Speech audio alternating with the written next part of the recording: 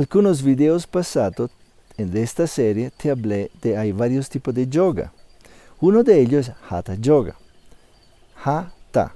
Vamos a ver de dónde viene la raíz. cada chakra tiene unos, uh, unos raíz acústica. Entonces, esto aquí tiene Ha, esto aquí está. Ha, esto que representa el cuerpo, esto aquí representa la mente. Entonces, Hatha.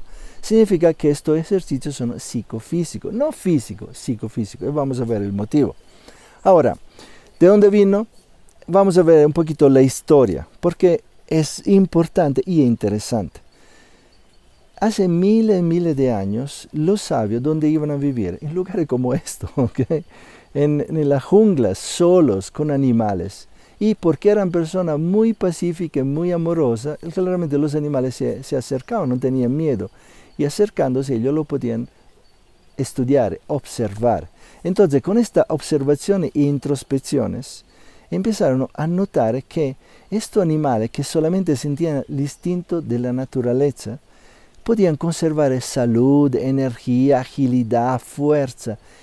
¿Cómo lo hacían? ¿Usted ha visto un, un animal en captividad obeso o estresado? Nunca. Ellos son siempre tranquilos. Me dicho, hacen lo que deben hacer, siguen simplemente su instinto. Pero dice, ¿cómo vamos a hacer? Entonces, además, pues con lo que estaba diciendo, la profunda observación interior de ello mismo, de su sistema, de cómo funcionaba su cuerpo y todo eso, e imitando los animales, notaron que empezaban a tener beneficios, beneficios en los órganos internos en el sistema glandular. Maravilloso. Y de allá empezaron a nacer las asanas, asanas Asanas es en español, asanas es en sánscrito. Entonces yo estoy confundido por cuál usar. Pero mejor asanas, ¿ok? Porque eso es como es. ¿Qué es esta asanas? Es una posición cómodamente sostenida. Entonces esta asana, ¿quién la hacían? La hacían todas estas personas que estaban en el sendero espiritual, pero particularmente los hatha yogi. Ahora, ellos empezaron a hacer que un tipo de fuerza en todo su sistema glandular, porque hacían estas asanas todo el tiempo, ¿sí? Entonces esto liberaba una energía mental que desarrollaban poderes y fenómenos psíquicos que le daban, ejemplo, la capacidad de, de, hibernación. Ellos paraban, usted ha visto como los osos que se pueden hibernar por meses, ¿no? Durante el invierno.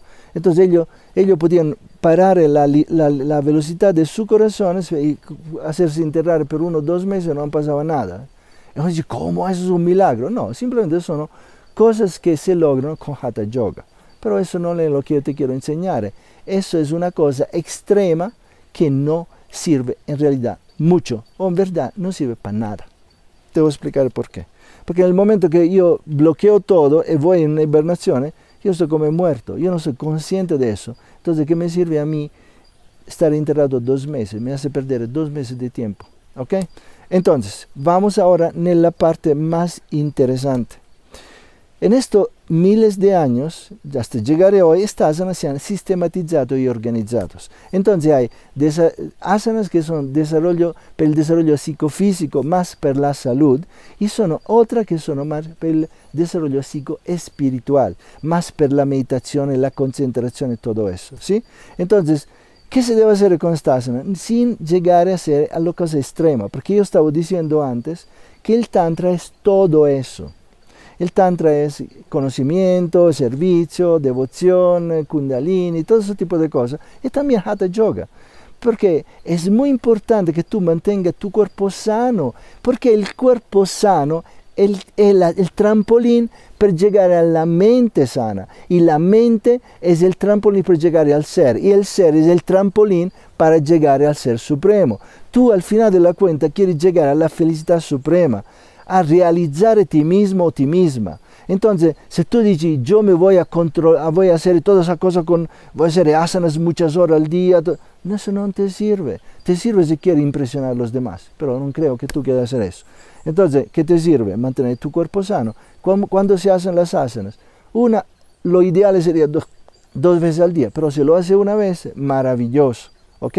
Y la hace según un sistema que yo te voy a enseñar en los próximos videos porque siendo una ciencia, se debe tratar como una ciencia.